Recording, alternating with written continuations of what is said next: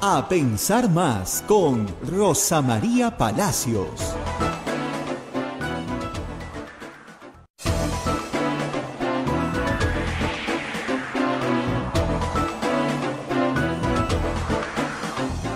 Señoras, señores, muy buenos días. Bienvenidos a Pensar Más con Rosa María Palacios desde Radio Santa Rosa para todo el Perú.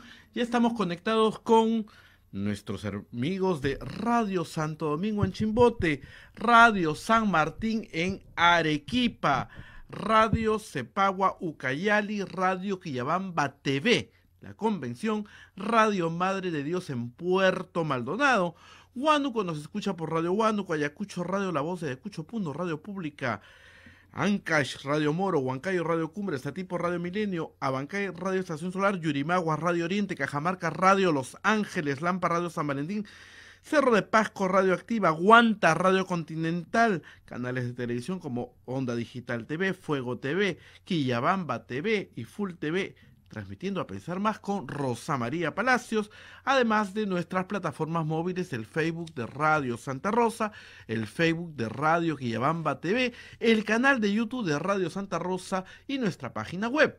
www.radiosantarosa.com.pe. Muy bien, empezamos la jornada del 4 de julio del año 2023 y hemos despertado con una noticia internacional. La Organización Meteorológica Mundial ha declarado oficialmente el inicio de las condiciones para el niño. Esto ha declarado mundialmente, ya sabíamos, así que simplemente se ha formalizado. Esa es la noticia mundial que está en todas las redacciones de todos los medios de comunicación en este momento. Bueno, ¿Qué más? En noticias nacionales, pues nos hemos enterado que la Corte Suprema el día de ayer decidió no emitir pronunciamiento mm, en el caso de la exfiscal Zoraida Ábalos, so pretexto, porque parece que esto hay otro trasfondo, y a Rosa María nos contará, so pretexto de que el caso podría judicializarse y llegaría a ellos y se calificaría como adelanto de opinión. Entonces, por eso, por eso no han emitido el pronunciamiento que le había pedido la Asociación de Jueces para demostrar una independencia de poderes. Por otro lado, el día de ayer también ex procuradores anticorrupción, el doctor José Ugaz, el doctor César Azabache y el doctor Luis Vargas Valdivia, le han pedido a la presidenta Dina Boluarte que observe esta, este, este, esta ley que el Congreso quiere, como sea, darla, que es la ley de colaboración eficaz. Entonces, estos tres ex procuradores le han mandado una carta, una misiva a la presidenta de la República. Y algo que nos preocupa está en el sur del país. El volcán Ubinas en Moquegua está erupcionando. Con todo esto y de otras noticias más, Rosa María ya está lista para hacer el análisis de toda la información. Muy buenos días, Rosa María, ¿cómo estás? Muy buenos días, muy buenos días, Abel, muy buenos días a toda nuestra audiencia en el Perú, en todo el mundo, aquellos que nos siguen fielmente día a día pues sí, hay mucho que contar y Abel les ha adelantado algo, pero primero tenemos que cumplir con los auspiciadores. Así que empezamos con la Pontificia Universidad Católica del Perú. La Pontificia Universidad Católica del Perú es la número uno del país en el cumplimiento de los objetivos del desarrollo sostenible, de acuerdo al ranking Times Higher Education 2023. Este logro refleja nuestro compromiso por la construcción de una ciudad inclusiva, segura, resiliente y sostenible. Visítanos en puc.edu .pe. Y por supuesto, recordarles que la Universidad Católica es la número uno del Perú, la, diez, la décima de Latinoamérica y está en el puesto 333 del, 336 del mundo, de acuerdo al ranking QS, que es uno de los más, eh, más buscados. Y hay que decir que hay algunos criterios del ranking en los cuales la Universidad Católica está incluso muchísimo mejor en el mundo, que es el puesto 336, pero eso ya lo pueden averiguar entrando a la página web de la universidad. Muy bien, ustedes que nos escuchan todos los días, nos ayudan, nos pueden seguir ayudando capturando el QR que aparece en este momento en pantalla y hacer una donación por billetera electrónica. No importa cuánto sea, miren, si usted nos da cinco soles, a nosotros nos cae muy bien y nos ayuda a llegar a fin de mes. Recordemos que la radio es una organización sin fines de lucro de carácter pastoral. La mayor parte de su programación está dedicada a la tarea pastoral. Y también si es un peruano que vive en el exterior, que nos escucha cada día y no tiene ya peniplín, pero tiene una tarjeta de crédito, nos puede hacer una donación a través de este sistema PayPal, que es un sistema muy seguro y muy fácil. Sigue las instrucciones que están en la página web de la radio, www.radiosantarosa.gov. No, punto com, Muy bien. Y eh, .com.pe, obviamente, Perú. Eh, esto en cuanto a nuestros auspicios. Ahora vamos al análisis político del día. Hay bastantes cosas que comentar. Justo lo escuchaba Abel em, recogiendo una recomendación que ya tienen varios medios. Hoy la tiene también la República en portada. Ex procuradores, Congreso entorpece la lucha contra corrupción. ¿De qué se trata? Se trata de una carta eh, muy sencilla dirigida a la Presidenta de la República, remitida acá está, tengo el cargo, por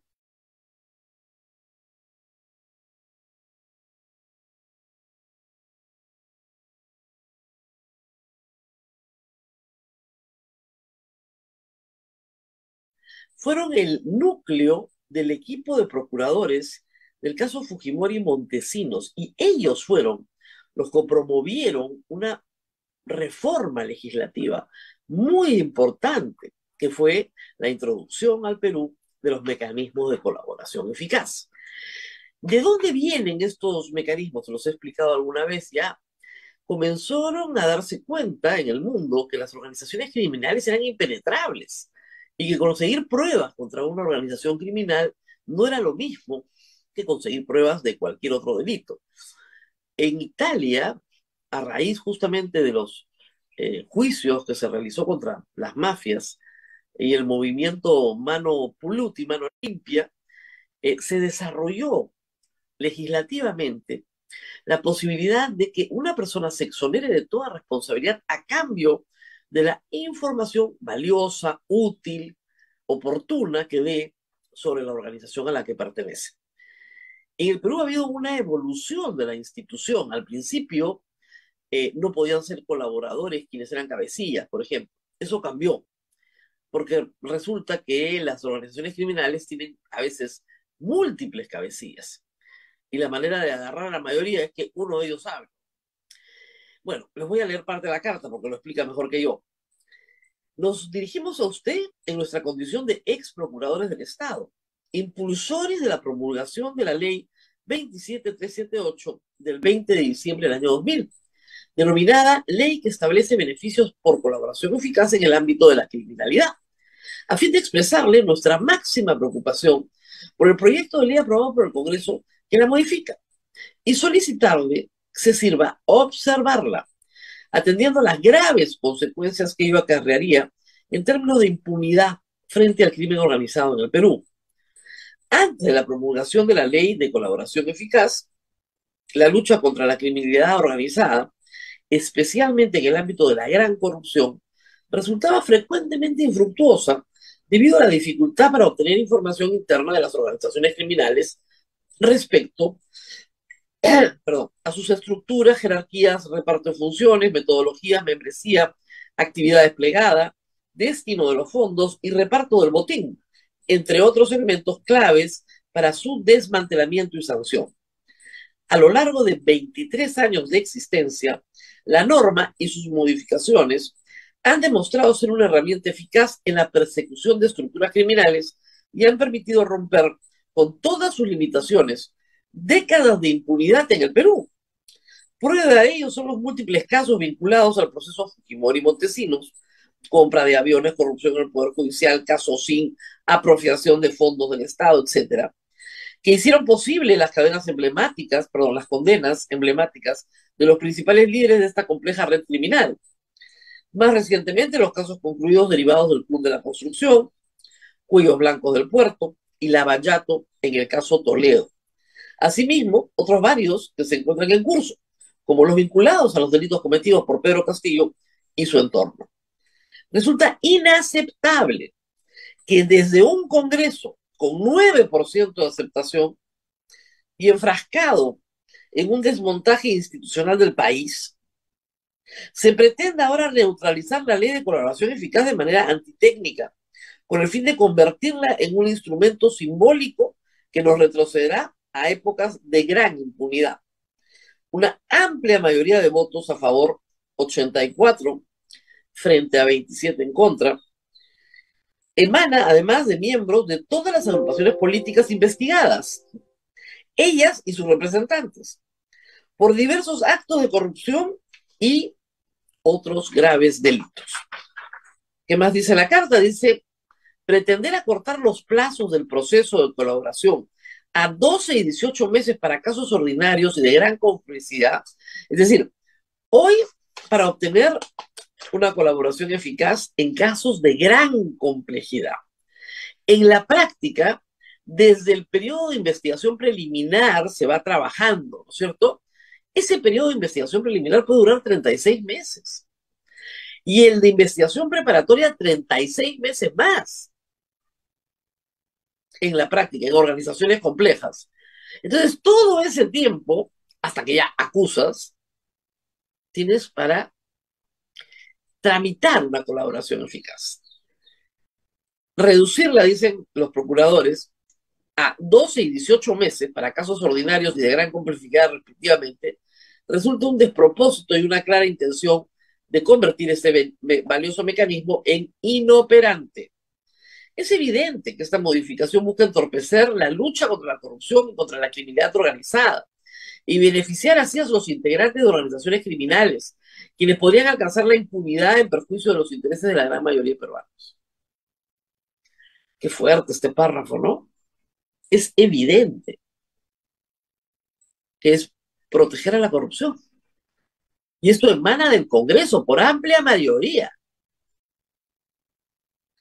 Como ha ocurrido en oportunidades anteriores, la norma puede ser mejorada, pero ello debe ser producto de un esfuerzo serio que involucre un debate técnico con la participación de reconocidos operadores del derecho, fiscales, jueces, procuradores y abogados, y de la academia, quienes conjuntamente buscan soluciones para, entre otros aspectos, las dilaciones indebidas y la corroboración y la defensa del aspirante. Estamos absolutamente de acuerdo en esto también.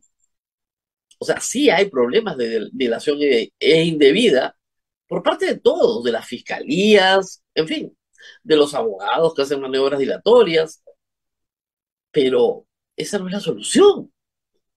Agradeciendo de antemano la atención que le merezca la presente, reiteramos nuestro pedido en la convicción que corresponde a la responsabilidad derivada de su alta investidura poner coto a este grave atentado contra la lucha anticorrupción y el crimen organizado que tanto daño le viene generando al país. Firmado César Azabache, José Ugas y Luis Vargas Valdivia. Ayer se supo que recién ayer el presidente del Congreso, señor Williams, había remitido la autógrafa a eh, Palacio de Gobierno para su promulgación. Dina Boluarte no ha dicho una palabra sobre esto.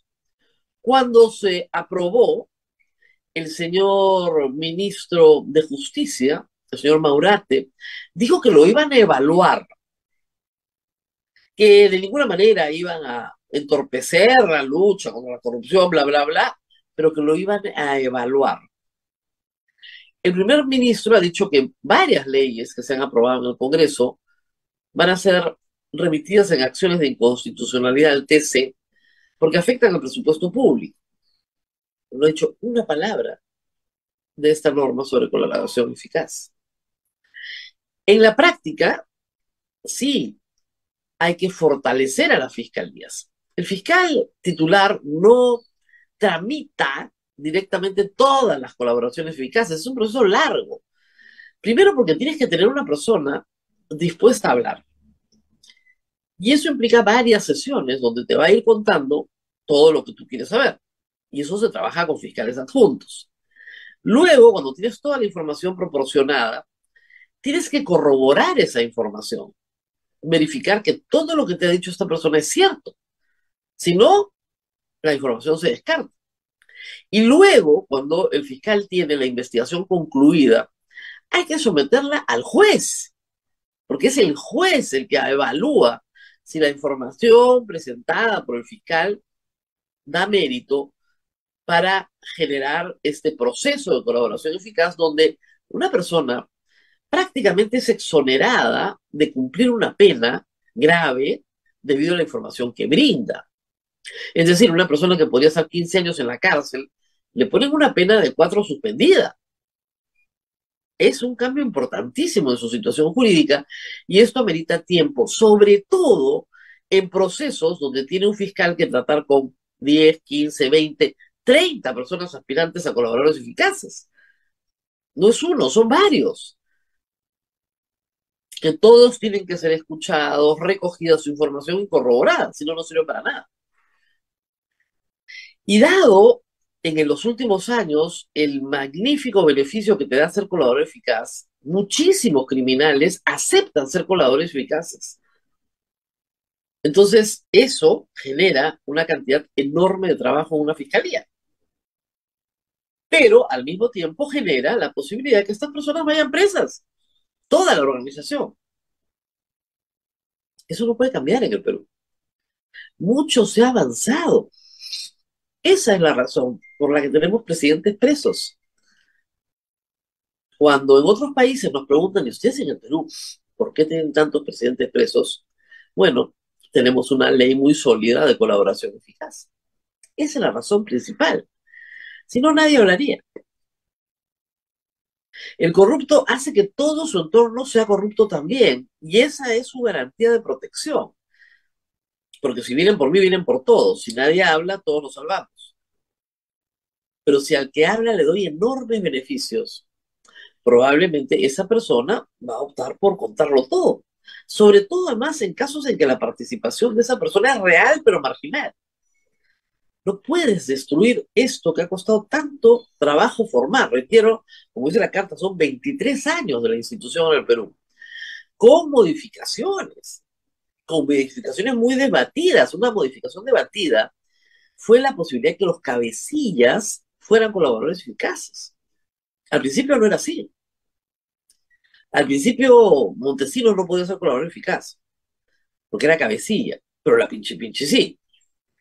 Entonces, luego se dijo, no, estas estructuras no son piramidales. Las estructuras criminales de este tipo son nodales, es decir, hay varios nudos. Y cada nudo tiene su propia célula, si se quiere. Entonces no hay un cabecilla, hay varios cabecillas.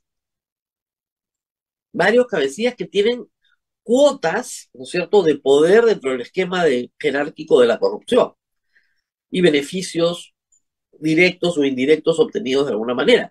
Y ahí ustedes tienen el caso clarísimo de Pedro Castillo. Hay 18 aspirantes a colaboradores eficaces, 18 en distintos procesos. Y no hay, ustedes dirán, pero Pedro Castillo es el cabecillo único. No necesariamente. Es beneficiario por supuesto, las coimas pasan por su oficina, eso está declarado por varios. Pero hay un nodo en el Ministerio de Transportes, otro nodo en el Ministerio de Vivienda, otro nodo en Petroperú, otro tal vez en la Secretaría General de Palacio. O sea, eso que está en investigación necesita tiempo. O presupuesto ponen el doble de fiscales a trabajar o el triple de fiscales a trabajar y de repente se avanza más rápido. Pero no hay presupuesto, pues tampoco, ese es el problema. Tú puedes hacer una casa en una semana, sí, pero tienes que meter a 100 obreros a trabajar juntos. Eso es difícil. Tiene un límite, ¿no? Entonces sí, efectivamente hay una afectación seria. ¿Qué más? ¿Qué más tenemos hoy día? Rosa María, antes que pases ese tema, tuvimos un pequeño bache de 10 segundos donde hablaba sobre la importancia de los que firman esta carta y de los que piden a la presidenta, ¿no? Por la experiencia que tienen, ¿no? El doctor Ugas, el doctor Azabache y el doctor eh, Vargas Valdivia. ¿no? Nuevamente, si se perdió, acá tenemos claramente a tres personas que trabajaron juntas, por eso firman la carta. César Azabache, José Ugaz y Luis Vargas Valdivia fueron los tres procuradores que inician el proceso contra Montesinos y luego en Fujimori Montesinos. Y ellos son los promotores ante el Congreso de la ley 27378 que se publica el 20 de diciembre del 2000. ¿Por qué? Porque sin esa herramienta no tenían cómo probar en proceso muchas de las cosas que se probaron en proceso. Estos tres abogados se retiraron a la vida profesional privada. Nosotros hemos tenido al doctor Azabache muchísimas veces en el programa, espero mañana tenerlo también para hablar de este tema, pero fueron justamente ellos los que dijeron, con esta herramienta vamos a poder luchar contra la corrupción. Y ahí están los resultados del caso Fujimori Montesinos. Probablemente una de las investigaciones de conjunto, digamos, de la organización criminal más exitosas que ha tenido el Perú en, su historia. Entonces, sí, pues, está. Uno pensaría que una sociedad saca lecciones de hechos tan traumáticos, ¿no es cierto?, como los videos de la corrupción. Y justamente esta legislación es parte de esas lecciones que se sacan para luchar contra la corrupción. Pues ahora tenemos un Congreso, yo suscribo lo que dice esta carta, que está empecinado en destruir las herramientas de lucha contra la corrupción. Eso es una barbaridad. Y que esto muera sin que diga nadie nada, es regresar al siglo XX, donde efectivamente políticos robaban muy alegremente sin que al final del día pasara mucho. Eso cambió en el proceso Fujimori-Montesinos, para bien, para bien. Y implicaba que la política iba a pasar por un proceso de depuración, ¿no? Nosotros no hacemos eso, nunca más. Bueno, no, no pasó eso. Esa parte sí no pasó. Lavallato fue devastador para América Latina en esa materia. Y cuando creíamos que esto, y con Lavajuez, que es un tema de corrupción judicial, y con el Club de la Construcción terminaba todo este proceso, pues no, no, no, no, no, no. Apareció Pedro Castillo. Tremendo. Bueno, hoy día vamos a hablar de presupuesto también y de educación superior. Va a estar con nosotros el rector de la Universidad Nacional Agraria La Molina, y luego vamos a estar con la directora de la Escuela Nacional de Bellas Artes, entidades educativas públicas que están en pie de lucha por sus presupuestos y por sus propios sus bienes, entre otras cosas.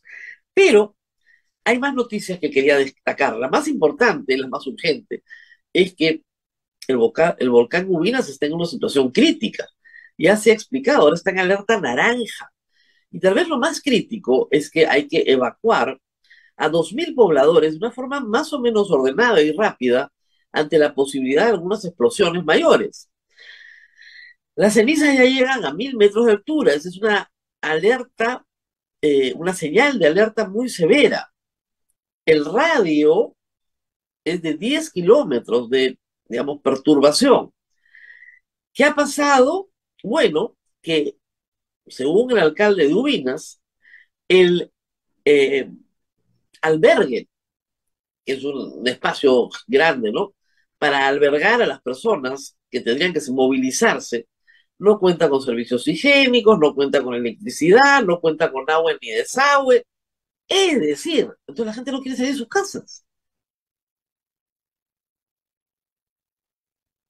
O sea, si van a declarar en emergencia, que ni siquiera lo han hecho todavía, declaren en emergencia para atender las necesidades de la población. Dios no quiera que pase a mayores.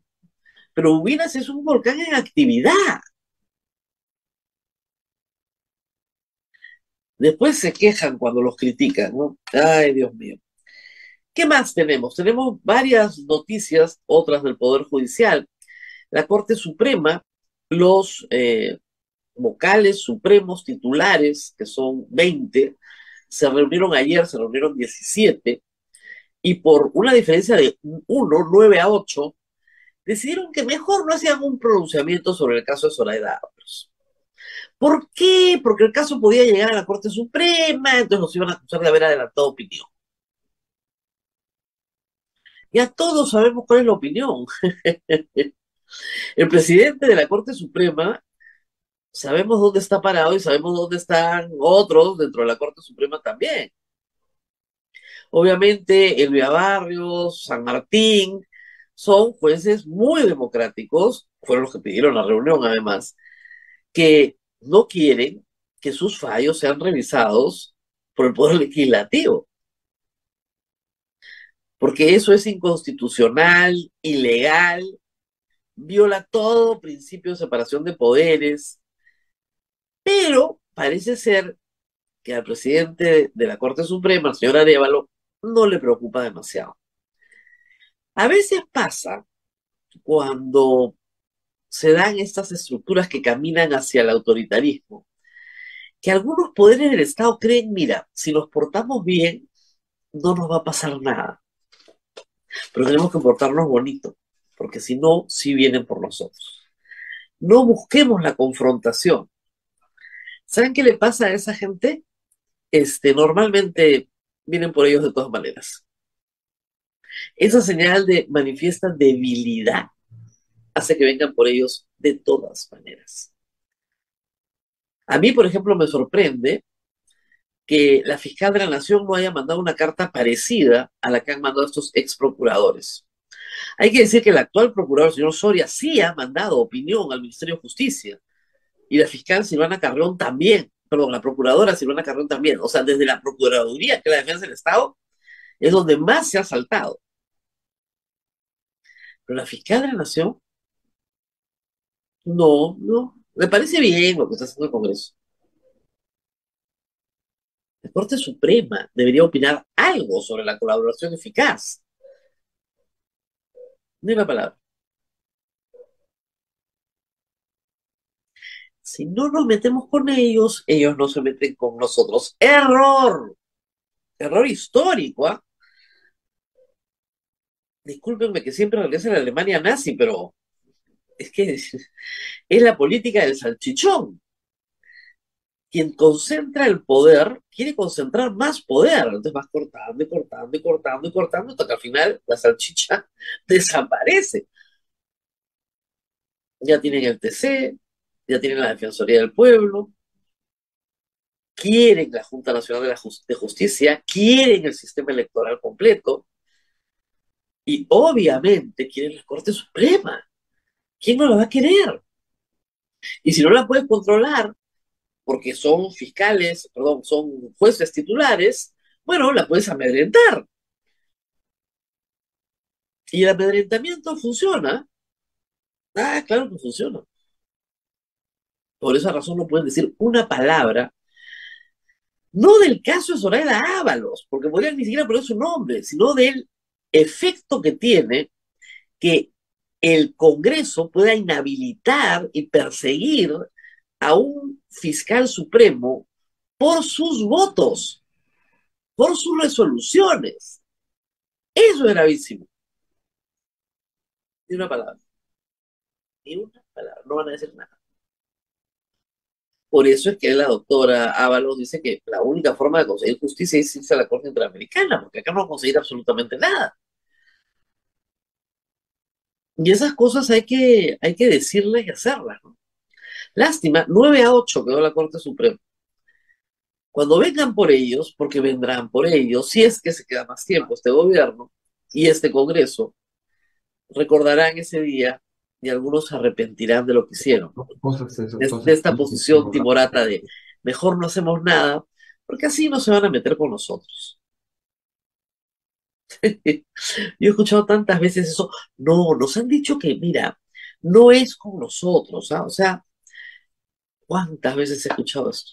Vamos a tener una actitud mucho más eh, prudente y de repente estás mirando, el tren te está pasando por encima y no entendiste qué pasó.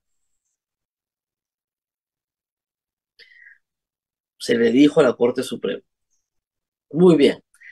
Vamos a hablar de presupuesto público y de la Universidad Nacional Agraria La Molina y también de Bellas Artes, de las escuelas, en realidad, artísticas del Perú que han salido a protestar la semana pasada por una reducción, por lo menos en el presupuesto base, en el que se está negociando en este momento que les parece absolutamente grave para el desarrollo de sus actividades. Vamos a una pausa, Abel. Así es, Rosa María, vamos a la pausa y volvemos con el rector de la Universidad Agraria La Molina. Y después de la pausa, más preguntas para Rosa María. Adelante. Continuamos con A Pensar Más desde Radio Santa Rosa para todo el Perú. Rosa María ya se encuentra con nuestro primer invitado, el doctor Américo Guevara, rector de la Universidad Agraria La Molina. Adelante, Rosa María. Y en efecto, estamos con el doctor Guevara, rector de la Universidad Nacional Agraria La Molina, eh, para hablar de un, a ver, de una manifestación de protesta que ha tenido éxito, por ahora, éxito. Muy bien, doctor, cuéntenos ¿Qué propiedad se quería expropiar y cuál es la utilidad de esta propiedad para los alumnos de la Universidad Nacional Agraria La Molina? Rosa María, buenos días. Gracias por la invitación y gracias, digamos, una vez más por ese apoyo a toda la educación, a todo el sistema educativo, a toda la universidad peruana y, y por supuesto a nuestra universidad. Un saludo especial a toda tu teleaudiencia nosotros muy satisfechos de estar acá contigo el día de hoy una vez más. Eh, lo cierto es que eh, se presenta un proyecto de ley en el cual se pretende crear la Universidad de Jauja, Nacional de Jauja, en la provincia de Jauja, eh, este, sí, Concepción. De Jauja, sí. Y, pero este proyecto, dentro de sus considerandos, incluye que funcionaría en las instalaciones de la Universidad Agraria y por supuesto también en una instalación de la Universidad de San Marcos. Es el proyecto. Nos afecta las áreas y también el presupuesto que destinamos, que es un pequeño presupuesto, por supuesto no es significativo porque luego te contaré qué hacemos en este instituto, ¿no? Nosotros, eh, si bien es cierto, como Universidad Nacional Agraria estamos comprometidos con todo el desarrollo del agro, y trabajamos para todo el país. No solamente eso, Rosa María, sino que además tenemos presencia en el, a nivel mundial, porque recordemos que los alimentos recorren por todo el mundo y los alimentos que vienen como producto de la investigación, como producto de la extensión, como producto de la innovación, entonces circulan por todos los medios y por todo el mundo. Un ejemplo. Yo, yo recuerdo, yo recuerdo, doctor, este instituto que tienen en, en Jauja es un instituto donde los alumnos que estudian en Lima van, van en, o en sus vacaciones o en viajes especiales que hacen con los profesores, porque lo que tiene la Universidad Nacional Agraria es institutos o instalaciones y sembríos en distintos pisos altitudinales del Perú, justamente para hacer las comparaciones y las innovaciones tecnológicas dependiendo del piso altitudinal en el que estás. No se puede hacer toda la investigación aquí en La Molina porque no tienes la altura que tienes en Jauja, como es, obvio. Y yo he sido testigo de estos viajes que son legendarios, además, porque se van ahí los muchachos y se quedan semanas trabajando. Cuéntenos un poco, para que el público entienda, qué se hace en este instituto en Jauja. Bueno, en Jauja eh, nosotros tenemos una extensión de 233.43 hectáreas. Todo en producción. Obviamente, cuando hablamos producción, viene de acuerdo a la investigación, a la enseñanza y a la extensión que hacemos. En este momento tenemos, por ejemplo, 30 hectáreas única y exclusivamente destinado a cereales andinos y dentro de eso, generalmente quinoa. Recordemos que la Universidad Agraria es un pilar del mundo para todo lo que es quinoa. Tenemos especialistas en quinoa y ahí se desarrollan todas las investigaciones. Luego tenemos cultivos de maíz, un promedio de 8 a 10 hectáreas, papa, por algo por ahí, oyuco, mayua, eh, frejol, eh, eh, entre otras, eh, este, otro, otros alimentos que vamos, ¿no?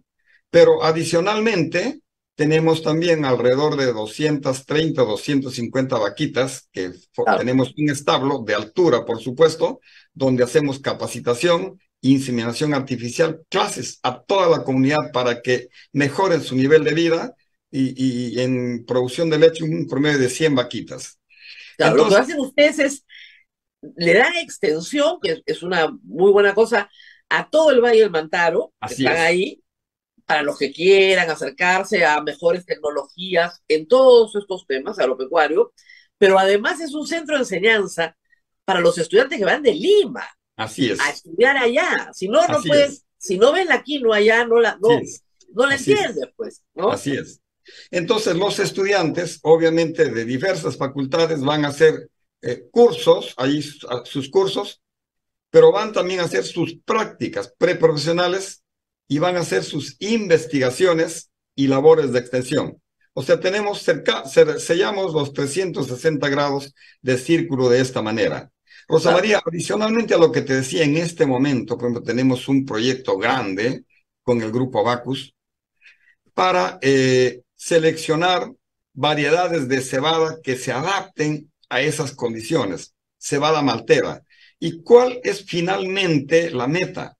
Es que en el país se produzca cebada y evitemos la importación de cebada y que el recurso no salga del país, que eso es lo que estamos en este momento. 50 hectáreas exclusivamente para sembrar cebada y eso va a ser luego, obviamente, a través de la extensión a todo el país.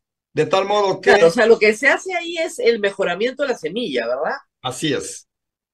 Mejoramiento de semilla. Levantar nivel de producción, ¿no es cierto? Claro, y, claro, y, y eh, claro, y técnicas de producción para mejorar el rendimiento del suelo. Apropiadas. Entonces, nosotros sin ese Instituto Regional de, Desarrollo, entonces prácticamente es como si nos cortaran parte de los brazos, ¿no? Claro, o sea, ¿dónde van a investigación? En Lima, y es el único instituto, la única extensión significativa, 233.49 hectáreas, que destinamos todo, digamos, para el desarrollo de cultivos de sierra y de diferentes altitudes. Claro. Entonces, por eso mismo es que nosotros, la semana pasada, cuando nos enteramos que el proyecto había pasado de madrugada a la comisión permanente, actuamos inmediatamente como buenos De madrugada, ¿no? O sea, ha sido una sorpresa absoluta. Era, era el Congreso tratando de quitar el brazo de investigación más importante de la Universidad Agrana. Es una barbaridad. Para que el público entienda, ¿Dónde tienen otros centros de investigación? En la selva también, ¿verdad? Amazonía también tenemos en, en, Costa, Sierra y Selva. En Sierra, el Yanamuclo es nuestro, el, único fondo que tenemos, ¿no? En, Selva tenemos en eh, La Merced y también en Satipo. Ah. de selva, o sea, para la condición altitudinal. Pero luego tenemos en Tarapoto, claro dos fondos, también 100% ocupados. Por ejemplo, en Tarapoto tenemos un proyecto en este momento que es de cinco años con el USAID. Es un, un proyecto ganado internacionalmente en el cual solamente es para extensión. Entonces, la Universidad Agraria tiene cultivos modelo, incluyendo pastos para ganado, y toda la comunidad recibe digamos, de los extensionistas la capacitación para mejorar su nivel de vida. Eso es en Tarapoto. Claro. Eh, y luego tenemos un fondo que en este momento estamos en problemas, que es en, por la distancia y con el terrorismo. Hemos tenido muchas invasiones. Eh, nos invaden, desalojamos, nos vuelven y desalojamos, ¿no? Que es en Dantas. Eso pertenece este, a la región Huánuco. Ah, Huánuco, ya. Sí, entonces, claro, ingresamos por está más cerca a Pucallpa. Ya. Ingresamos por Pucallpa, pero está en la región Huánuco. Esos son los institutos que, que, que, tenemos, ¿cierto? Y con eso nosotros tenemos todos los cultivos de costa, sierra y selva. Y, además, como están en producción, también generan ingresos para la universidad. Pequeños, pero pues generan sus ingresos. Eh, eh, fondos concursables, por ejemplo, a través de proyectos nacionales e internacionales, que básicamente movemos, porque el Estado, el presupuesto que nos dan, siempre hemos dicho, no es el que debería darle a una universidad para que esté tranquila y haga más investigación. Entonces, los proyectos que nosotros tenemos que estar pensando a través de nuestros investigadores mismos es para lograr también mantener y mejorar estos institutos regionales, eh, eh, aparte obviamente de lo que es la ciudad universitaria en Lima. Claro, entonces, si, como, como, como, se explicaba muy bien, si no sé, si yo le quito a la Universidad Agraria para crear otra universidad encima, que Dios sabe cuándo estará lista además. Así es. Dios sabe con qué profesores y todo. Yo le quito toda la extensión al Valle del Mantaro, para empezar, que eso es grave, porque extensión que no hace el Ministerio de Agricultura, porque el Ministerio de Agricultura no tiene extensión agraria, ¿ya? Y le quito toda la investigación a la universidad que ya está haciendo la investigación. es una barbaridad. Ahora, ¿quién está detrás de esto? Porque esto es un, discúlpeme doctor, pero usted no lo va a decir, esto es un botín. Alguien con mucha codicia ha dicho, nos tiramos esta universidad y ya está, listo. Estupendo. Sí, eh, para buena, digamos, en base a nuestra reacción y a la conversación, entonces ayer, Rosa María, hemos conversado con el congresista Edgar Raimundo, entonces él está sustituyendo el proyecto original, ¿cierto? Y, y en la fórmula de sustitución, entonces ya no está considerando afectar nuestras áreas. Pero claro, eso es una gran noticia para nosotros, aún así estaremos pendientes eh, claro, lo que pasa es que ha ofrecido seguramente, futuro. Claro, ha ofrecido crear una universidad en Jauja, entonces tiene que satisfacer a sus electores. De repente ni se necesita una universidad en Jauja, no lo sabemos, pero no puedes, pues, como dicen, desvestir un santo para vestir a otro, pero raquítico, además, ni siquiera bien comidito, ¿no? Y supongo que a San Marcos tampoco le van a quitar su propiedad, espero. que sí.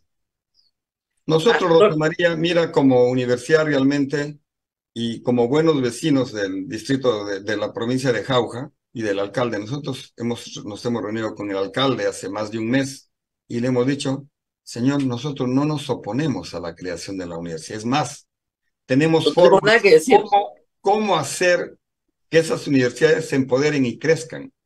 En vez de quitarnos o pretender quitarnos un área, hubiésemos reunido para hacer un convenio con la creación de la futura universidad y que la Universidad Agraria le dé todas las fórmulas de cómo crezca esa universidad como nosotros hemos crecido en estos 121 años de vida institucional que tenemos.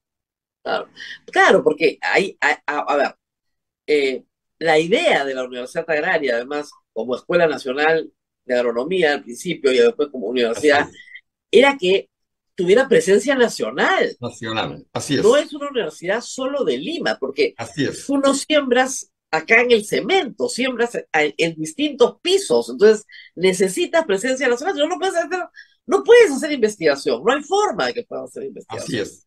Ya, ese es, digamos, la lógica te lo dice. Ahora, yo sí me opongo a que creen universidades, infelizmente la moratoria fue muy buena, ayudó mucho no porque no crea que los estudiantes merecen tener una buena calidad educativa universitaria, sino por el contrario, porque son permanentemente estafados por universidades a las que el Estado no les pone un centavo, ellos y sus padres. Pero bueno, pero como usted dice, si el Congreso decide crear la Universidad de Jauja, porque no le basta la oferta, yo creo que la Universidad de Huancayo es una buena universidad y podrían ir a Huancayo todos los estudiantes. Está a una hora de Jauja, por el amor de Dios, no es tan difícil, ¿ya? Este, bueno, pero en fin, se puede discutir, pero no quitándoles a ustedes. Ahora, esto, ingeniero, a mí siempre me, me hace sonar, ¿no? Porque usted es una persona que ha defendido mucho la reforma universitaria. usted ha defendido la SUNEDU, usted sabe la situación en la que está SUNEDU hoy día, usted sabe lo que el Congreso ha hecho con SUNEDU, ¿No será esta una pequeña venganza? Lo ha pensado, le veo la carita, lo ha pensado. Mm, la verdad es que espero que no sea eso y espero, digamos, que eh, exista libertad de expresión, libertad de pensamiento y sobre todo que defendamos lo que estamos seguros que sirva para el país. Yo creo que el país, lamentablemente, yo le he dicho siempre, desde que tengo uso de razón, escucho esa palabra subdesarrollo. Y cuando comparamos con países del Asia, en 13, 15 años han logrado el desarrollo. Entonces, ¿qué está pasando en el Perú si tenemos recursos? Entonces, yo creo que primero hay que saber en qué invertimos.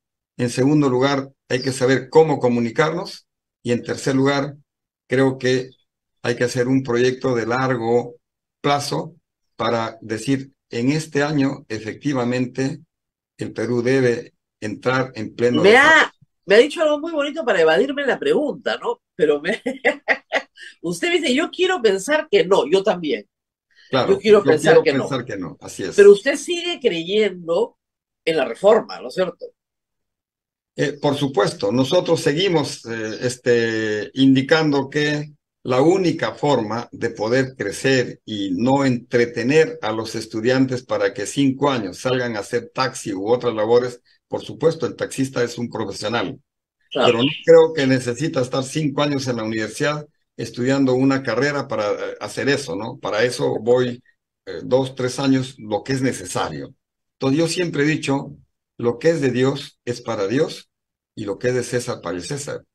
Entonces creo que eh, las cosas positivas hay que apoyar, hay que empoderarlas y, la reforma para nosotros como AUNAP ha sido positiva. Muy positiva, porque además... Pensamos en que realmente no debemos bajar la guardia en ese nivel porque el poco recurso que se tiene debe ser muy bien invertido y debe satisfacer a la población y sobre todo a aquellos que más... Es, es una pena, es una pena lo que ha pasado, pero estoy segura que un nuevo Congreso va a revertir el daño terrible, porque yo creo que hay un daño ya.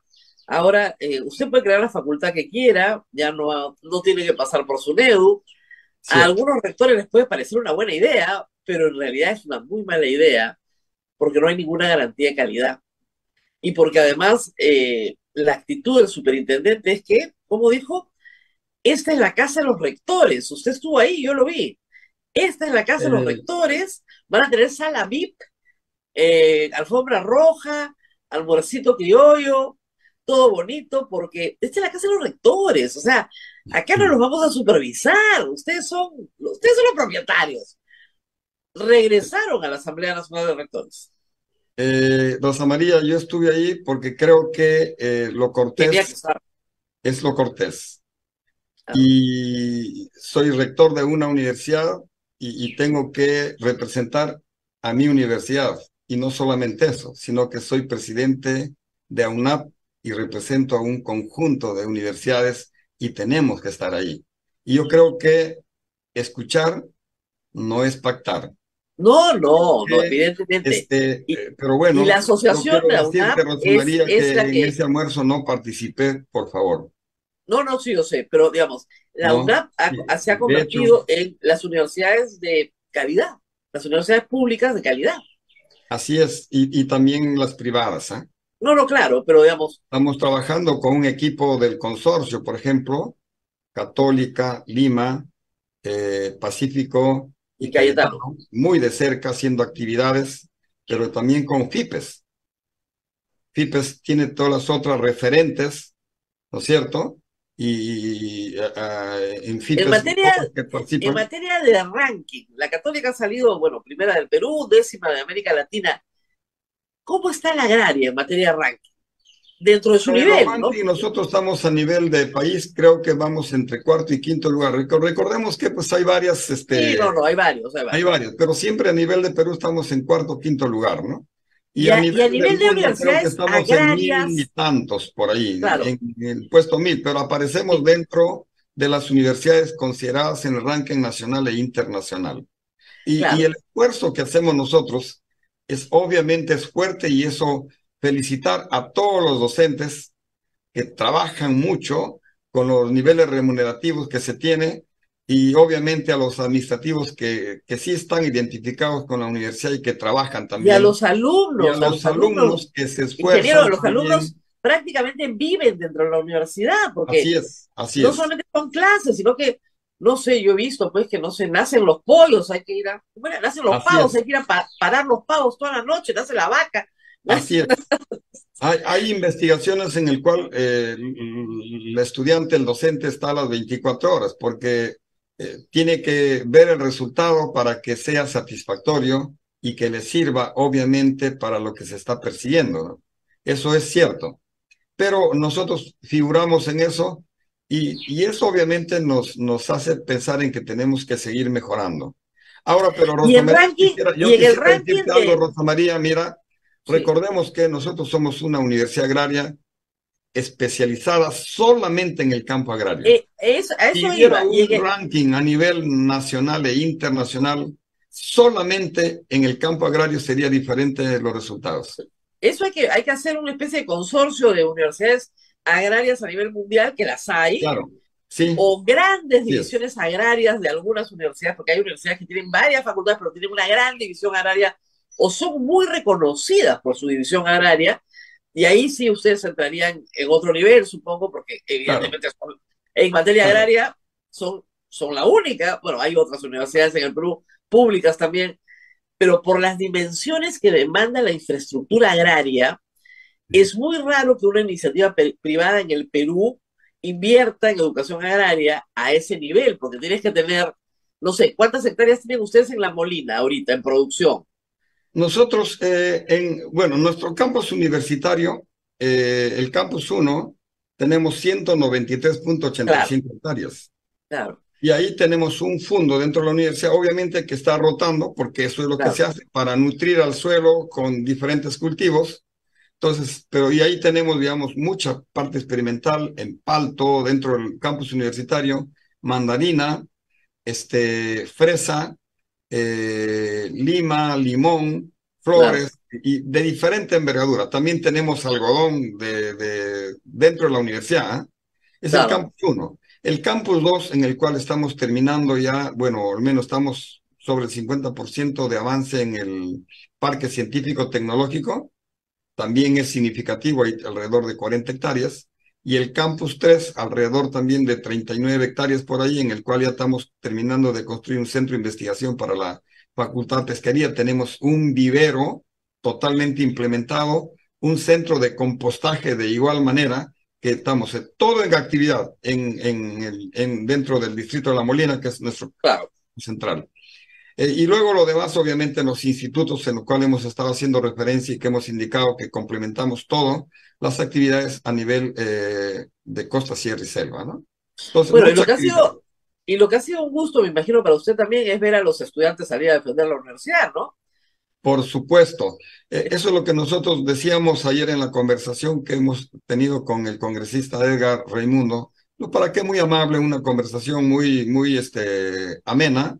De repente no sabía, pues, no sabía lo que había detrás. Claro, y luego este, le hemos dicho, ¿para qué esperar comisiones ¿Por qué tenemos que esperar agosto?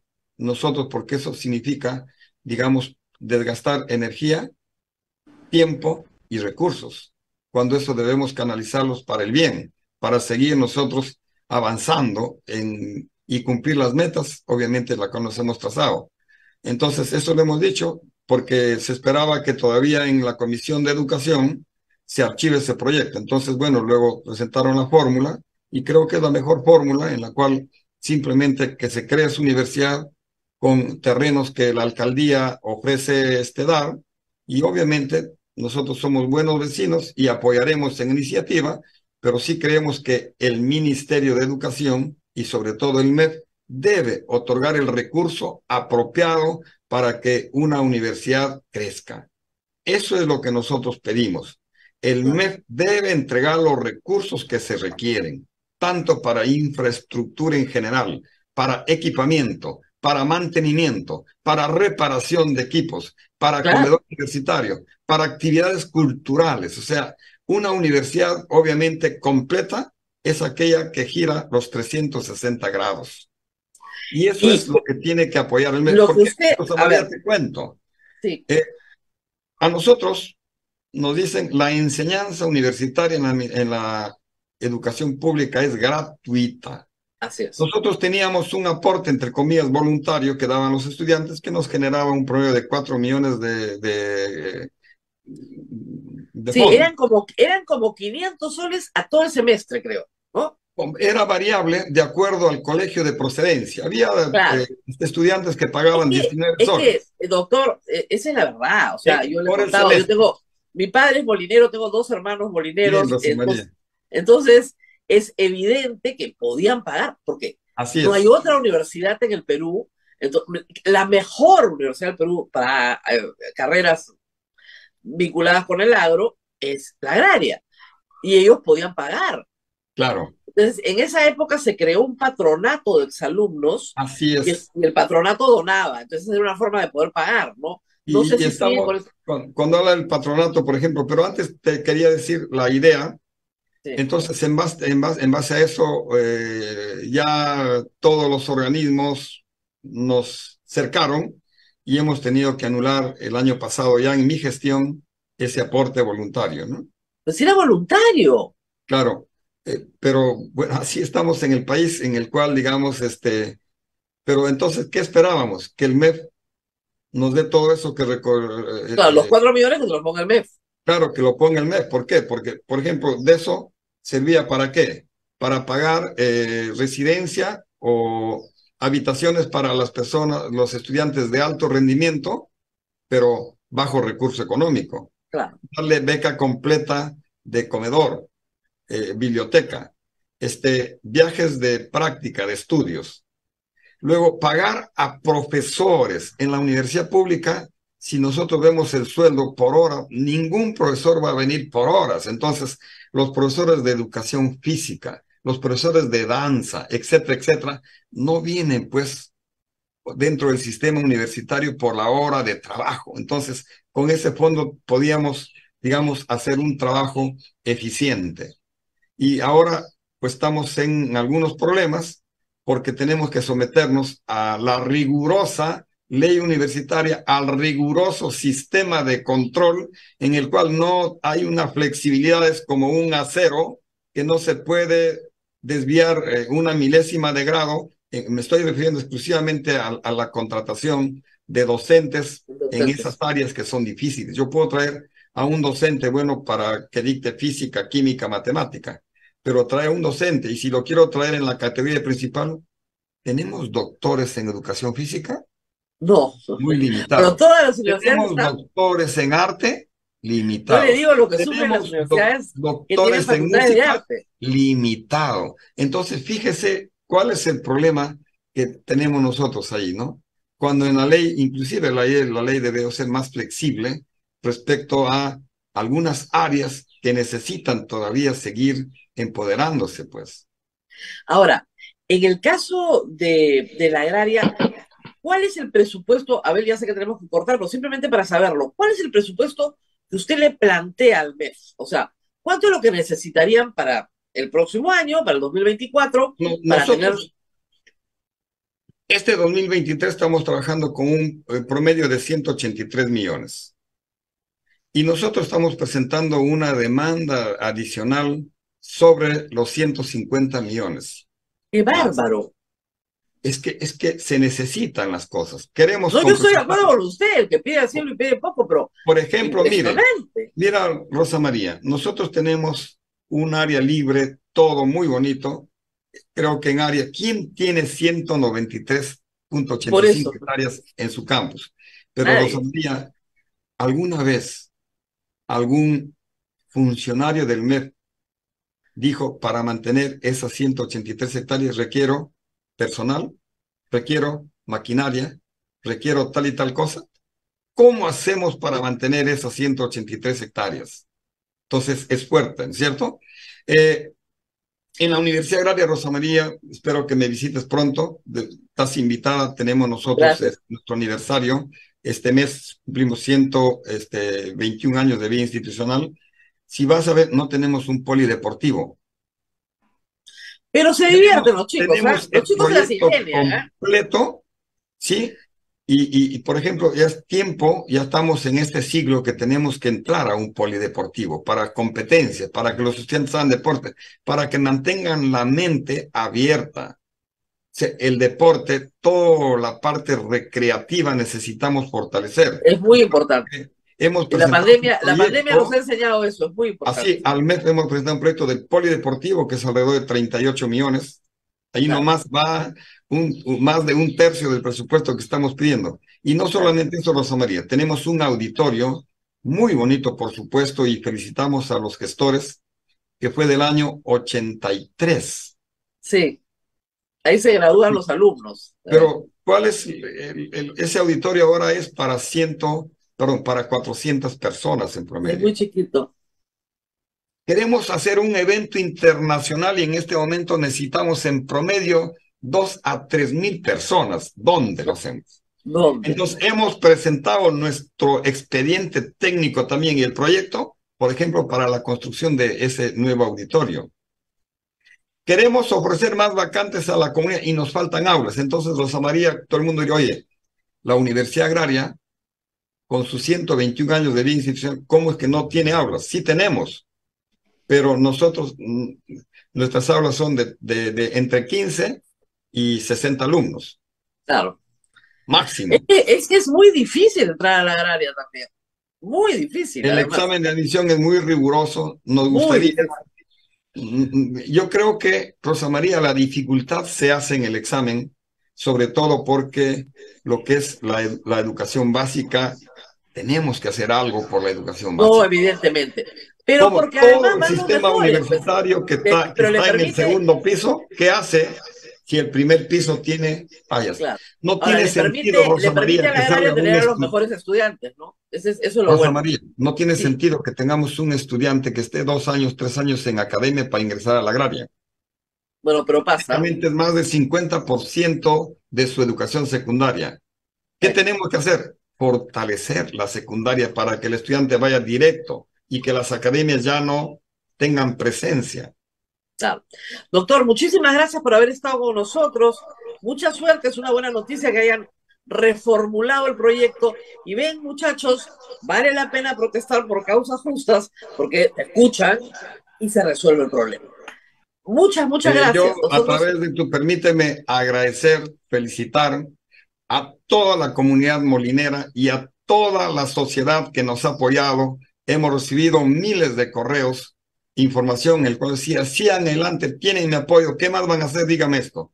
A toda esa comunidad agradecemos mucho por ese espíritu y ese apoyo que nos han dado y nos da incentivo para seguir trabajando mucho más y obviamente pedir que respeten a la institucionalidad en nuestro país. Así es. Muy bien, ingeniero, muchas gracias por haber estado con nosotros. Y eh, vamos con ahora. Gracias, Rosa María. Otra, gracias, muchas gracias. Vamos ahora con otra historia que tiene también que ver con la educación superior. Las artes. Las artes también. Dios mío.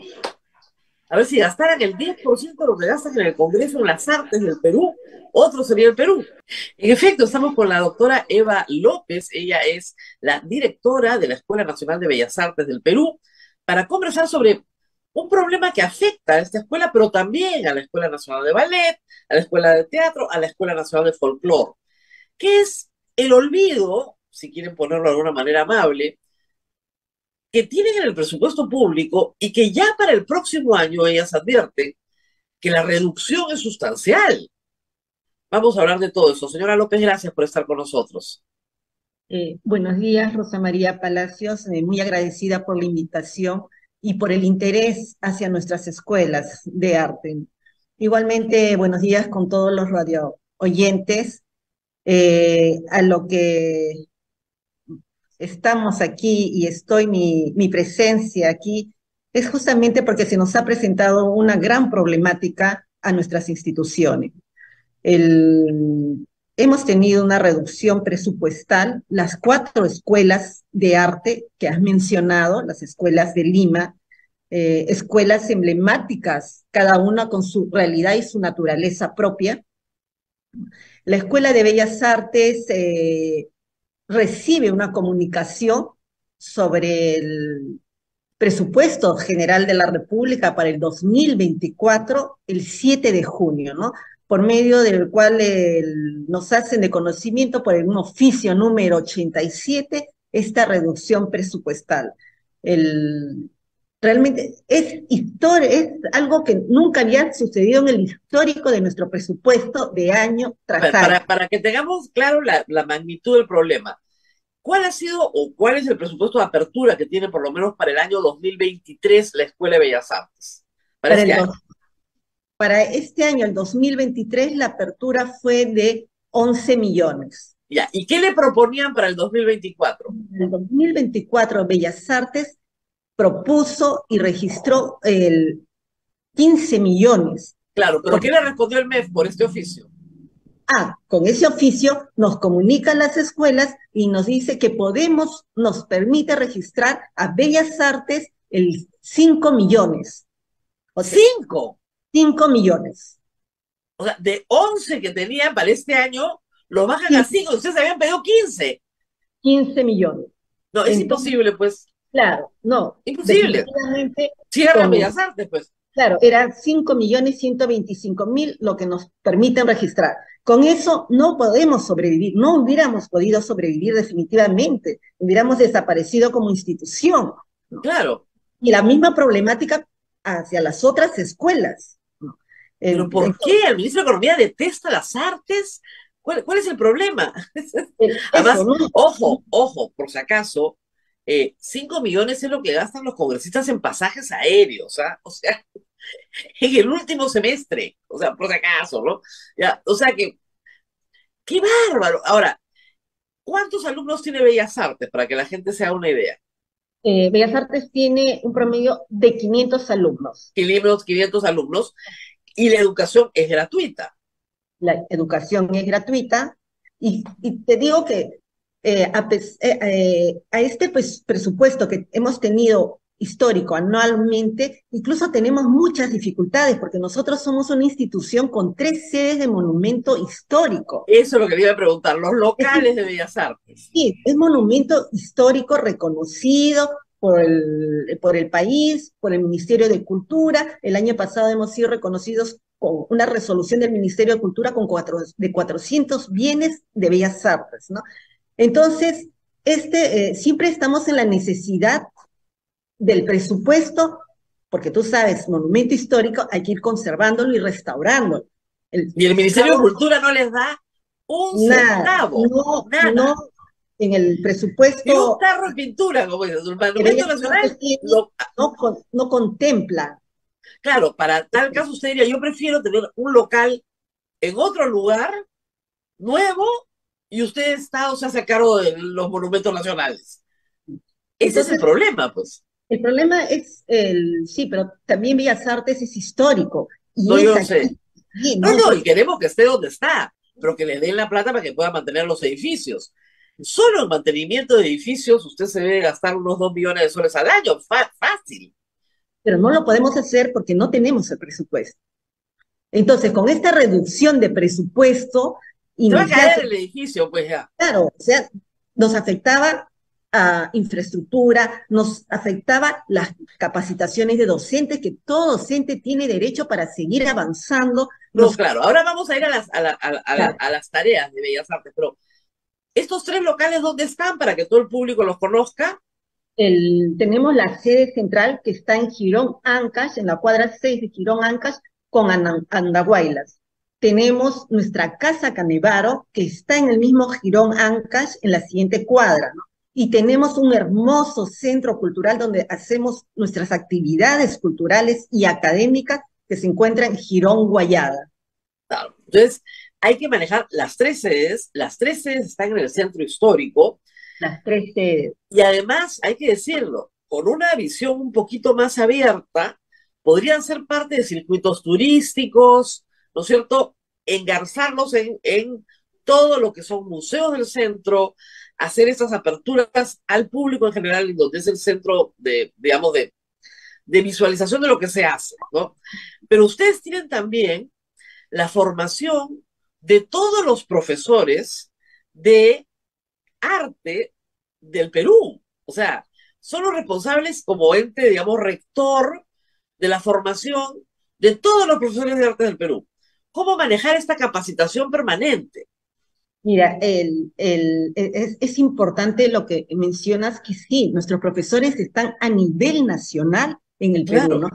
Es, increíble porque nosotros somos formadores de artistas profesionales en diversas especialidades, pintura, escultura, grabado, conservación y restauración, además del programa de educación artística. Y lo curioso es que han aparecido universidades particulares y universidades particulares que tienen facultades de arte pero siempre que vas a una facultad de arte privada, una universidad, el especialista y el docente es profesional egresado de Bellas Artes. Ah, No, no, sí, no, tienen una trayectoria impresionante, o sea, eso sí está clarísimo. Pero, pero, yo no entiendo la razón. Ahora, el comunicado del MEF dice, no, no, no, no, no, había una confusión, había una confusión, es solo para el registro. Ya después, cuando presentemos el presupuesto ante el Congreso, eso se aumenta. Y el Congreso también, por supuesto, hacemos ajustes, pero como usted ha trabajado muchos años en el Estado y yo algo conozco, todos sabemos que eso no necesariamente es verdad. Y a todo el mundo asusta, y con razón, porque de palabrita te dicen muchas cosas, pero uno qué hace con el comunicado. Uno necesita, ¿no es cierto?, la plata en el presupuesto. ¿Qué han hecho ustedes para asegurarse que esté en el presupuesto? Mira, eh, debido a la noticia y al, al, oficio que nos llegó a las cuatro escuelas, debo decir que ha habido un unión y trabajo coordinado con las cuatro escuelas, ¿no? Porque la problemática era, era a nivel nacional de Lima que nos afectaba. digamos, nos quedamos sin artistas y nos quedamos sin elencos nacionales, porque los elencos nacionales dependen de las escuelas. Claro, entonces, eh, se han sacado pronunciamientos en conjunto, las cuatro escuelas, las coordinaciones, la documentación al Ministerio de Economía, al el ministro del Consejo, Consejo de Ministros, al Ministerio de Educación. Se ha mandado toda esa documentación, las redes sociales, las noticias que han salido, porque ha, es una alerta, una alerta de urgencia para, en esta situación. Y debido a eso, el 25 de junio, el Minedo, día domingo, 25 de junio, a las nueve y media de la noche a once de la noche, envía un pequeño correo a las cuatro escuelas. E incluso a mí me envía un WhatsApp. Claro que yo no lo vi en ese momento, once y media de la noche. La gente duerme normalmente. Es domingo. Así es. El día lunes a las 8, donde nos indicaba que registremos un monto para cada institución. A nosotros nos asignaban un monto de 5 millones para registrar ese día domingo. No. Un adicional. Ah, un adicional, pero tampoco llegas a los 11 de este año. Claro, entonces, pero es curioso porque día domingo, esa hora, el día lunes me llaman a las 8 y 6 de la mañana un funcionario de Minedi y me dice, directora, ya las otras escuelas han registrado, se necesita que usted registre hasta las 9 de la mañana. Si no lo hace, se queda con sus 5 millones 125 mil. Entonces yo sentí, yo sentí, me sentí una agresión, una... Obviamente.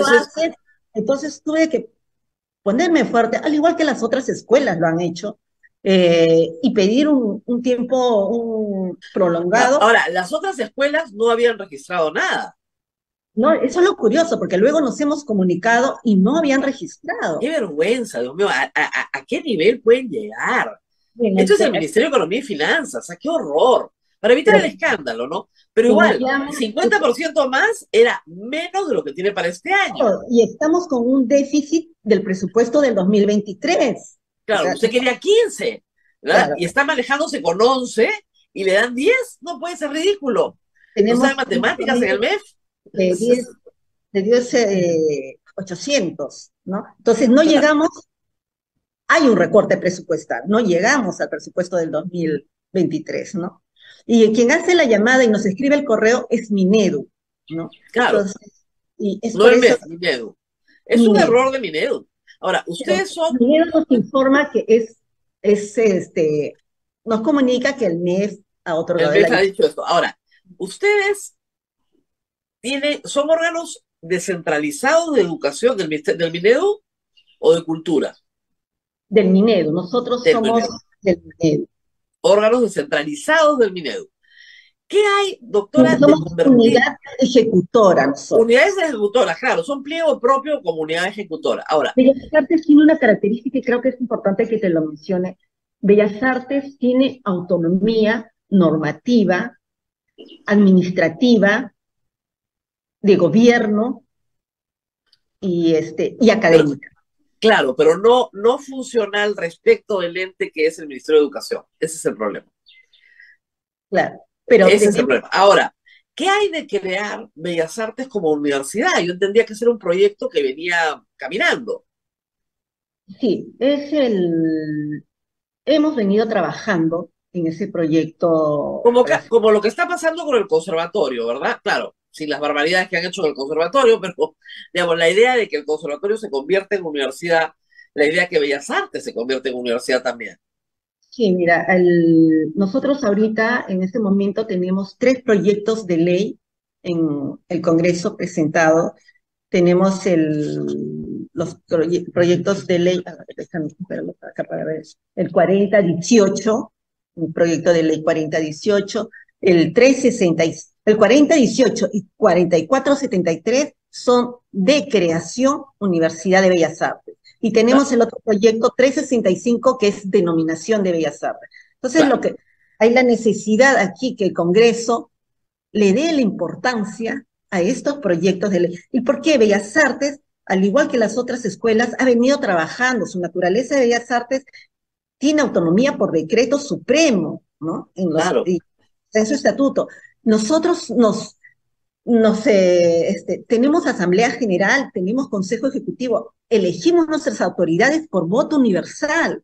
Claro, tienen ya una base suficiente como para poder constituir los planes de estudio se incluso no aprobado su Ahora, incluso se podría hacer una Universidad Nacional de las Artes, ¿no? O sea, para incorporar a las escuelas de teatro, no sé si incorporarse como música o no, y eso es una cuestión técnica, pero eh, en vez de estar discutiendo, ¿no es cierto?, el mejoramiento de los títulos que expiden de instituto a universidad, estamos discutiendo cómo les van a recortar el presupuesto. Lo cual, francamente, discúlpenme a todos los que nos están escuchando, es un disparate. Una sociedad que no tiene arte es una sociedad muerta y el Perú lo tiene. O sea, si hay algo que es maravilloso del Perú es la plástica del Perú. Claro. O sea, en cualquier pueblo al que ustedes vayan, hay una belleza plástica en cualquier pasacalle. ¿ya? No puede ser que las universidades o los institutos en este momento que están desarrollando arte sean maltratados de esa manera. Entiendo que ustedes salieron a marchar, los estudiantes se han movilizado también. Y ahora, ¿en qué punto estamos? después de ese comunicado del MEF.